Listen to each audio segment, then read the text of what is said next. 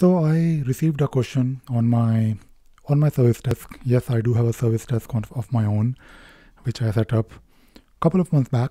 And uh, the purpose of this uh, the purpose of this uh, service desk is to channelize all the all the requirements that uh, you have, and maybe you have any questions for me, or if you want to if you want me to take a look at something, and if you think uh, you need more than two minutes of my time then uh, raise a ticket for, for me.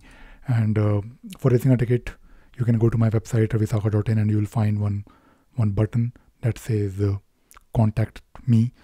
So you can click on that click on that button, or you can go to the service desk portal. Uh, and I believe you, you I believe you can find the link somewhere in the description. But I wanted to talk about this question today, and uh, this question is from uh, is from Dilleray, I guess. And the question is all about I'm using Jira Cloud version and uh, I have a problem with the script runner. In my project, I have to get only issues that uh, GPA uh, custom field is less than three. So this user also sent me one uh, um, one script, not the complete script, but I was looking at the at the script uh, and I was trying to identify uh, the problem. So it seems like he, I guess he, is trying to do something with a number field. And based on the number field uh, he's trying to uh, do something else. So there are two things. Number one if you're trying to let us say if i read the question uh, the question says that i want to get all the issues based on a field more than or less than a number, whatever. So you can do that using uh, JQL. Uh, that is probably better. And you can actually uh, use Jira REST API and of course a script runner to make a search using a JQL. And of course, then when you have the issues, you can do a lot of wonderful things with the, those issues that you get in your search result. But if I if I look at your script, I think uh, you're trying to get the custom field value first and then do something with the custom field. So let me show you how it can be done. Um, and the good thing is that if you are uh, using a ScriptRunner for Jira on cloud, uh, you also have these different links that will give you some suggestions on uh, how to access or how to fetch the field uh, values. Now there are a couple of ways of doing it uh, using REST API if you're using, of course, uh, Java API uh, on server, of course, you can directly fetch the custom field value. There are a lot of wonderful um, methods uh, in the Java API. But on, on the cloud version, you have to use REST API. Now, if you know the field ID, then you can directly uh, look at uh, the issue. So when you make a REST call for the issue, you can actually get the whole JSON where you have for each and every issue different uh, fields. So let me just do it very quickly. So if I do, let us say return here, let us do return issue. And by the way, we have done this before. I'm just uh, trying to repeat myself to answer this question. And uh, it is also a refresher for me or maybe anyone who is uh, who is trying to do something similar on cloud. So basically what I'm doing here is I'm simply uh, trying to fetch uh, this issue st1 and uh, I will get a JSON. And if you look at the JSON here, this JSON will give you the information, but uh, for each and every custom field, you have to use the custom field ID. So if you know the custom field ID, then you can of course uh, stop here and uh, that is it. But if you don't know the custom field ID, you can uh, you can make another REST call to get the custom field ID based on the field name. And I guess you know the field name because that is what you are trying to do. So let me just remove this return issues and uh, what I'll do I'll I'll do a return. Custom field. And if you do this you will get uh, again a JSON with all the fields. No not all the field fields but uh, this particular field which is called as request participants. It is a field which is like a user picker field. And uh, this field is used in one of my one of my uh, service desk project and this field ID is uh, this custom field ID underscore 10038.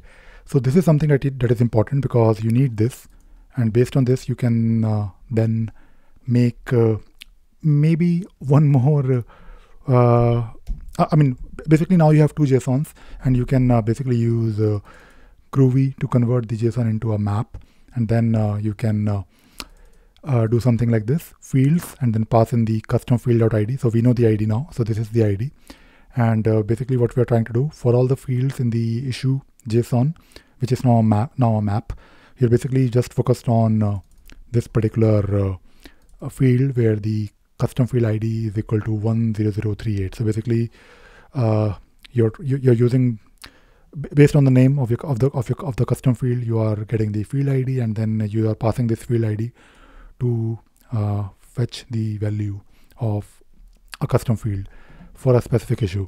So using REST API, things are you have to do things uh, by making couple of REST calls. And uh, if I just run this code now, and by the way, this is uh, one of the code that I picked by clicking on the link here. So I, I guess there is a code here, select get select list custom field option. If you click on this link, you will get this code. Um, and that is what I'm doing. And uh, if you now look at the output, you basically have the um, custom field value, which is request participant. So going back to the question, number one, you uh, can fetch the custom field ID. For for a number field, you don't. Uh, I mean, I'm trying. I, I, think you're trying to convert the um, convert the. I guess you're looking at the code. You you looked at the code that you copied uh, by clicking on the link, but this code that you click. I mean, when you click on this uh, get custom field, get select list custom field option, this code will work on the custom fields of type select list and that is why it says as map so you don't need to convert it as map because uh, in your case it is just a number field so just stop at issue.field id and that is it so that, that is what i'm also doing in my code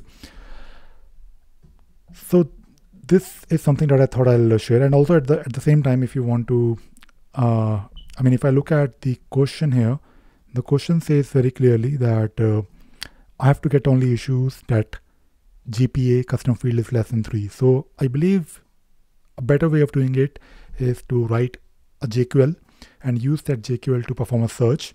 And you can do that using REST API. And if you want to learn how to do that, I have plenty of videos on my on my channel, and I'll probably show you if I go to my website.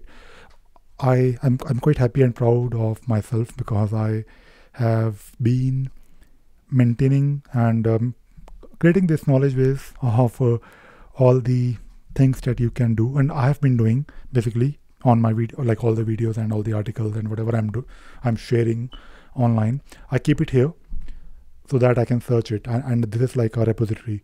So if you go to my mastering jira rest api uh, playlist you can search here basically in this particular uh, in this particular uh, course. I have talked about only only uh, REST API so I'm just trying to show you how to find the information.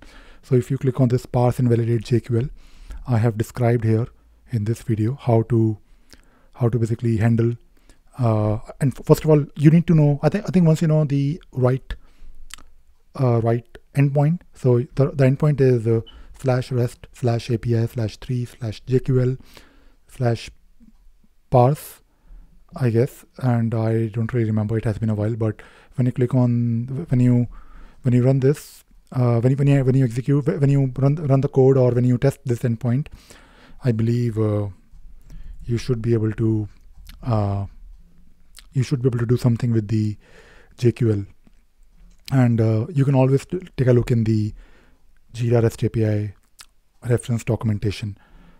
So do take a look at my my playlist. I'm also trying to promote my my content. just trying to help. And by the way, uh,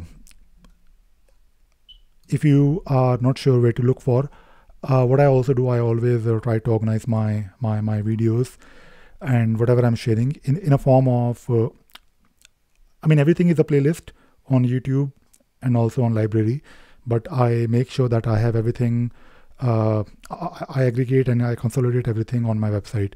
So if you want to learn something about, let us say, script for Jira on cloud, so let me try to find this. So it says, so there is a course called Mastering ScriptRunner for Jira Cloud.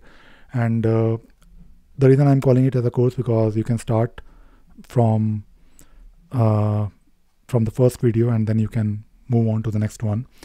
And I have plenty of examples that you can also take a look at. For example, I, I did talk about parsing JQL results, which is of course based on uh, the endpoint that I shared earlier.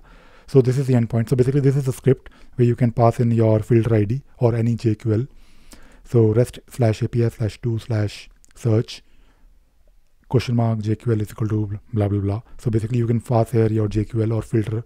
Filter is better because uh, it is convenient, and uh, and you can then uh, convert your output. I mean, you you will get a JSON that you can convert to, I guess. Uh, um, I, mean, the good thing about uh, the good thing about Groovy is that you can convert this in a map, and then you can iterate over it. So when you look at this code, what I'm doing here is I'm trying to iterate. I, am trying to first fetch the list of issues using a filter, and I can have maybe 10 or 20 issues, and then I'm just trying to print them separately, the issue key and the priority name. But the idea here is to demonstrate how you can, number one, parse JQL result and then uh, do something with those individual issues. And and that is it that is all I wanted to share and talk about in this video. I hope you enjoyed watching this video and you also learned something new today. Thank you very much.